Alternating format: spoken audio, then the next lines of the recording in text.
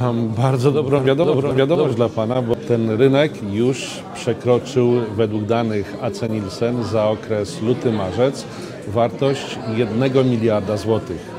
To jest bardzo dobra wiadomość i co więcej, rynek jest w dalszej e, fazie wzrostu, bo za ostatni okres notujemy 10% wzrost wartości rynku to jeśli chodzi o bakalie paczkowane. Natomiast musimy pamiętać o tym też, że część bakali jest sprzedawanej, sprzedawanych luzem, a oceniamy, że to jest około dodatkowe 20-30%, czyli rynek bakali w ogóle w Polsce konsumowanych e, czy to do pieczenia, czy do e, e,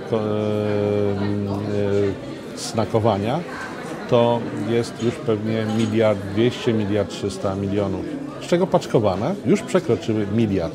E, To chodzi o okres e, luty-marzec. E, Luty-marzec kończący się okres na macie, więc to jest za okres całego roku.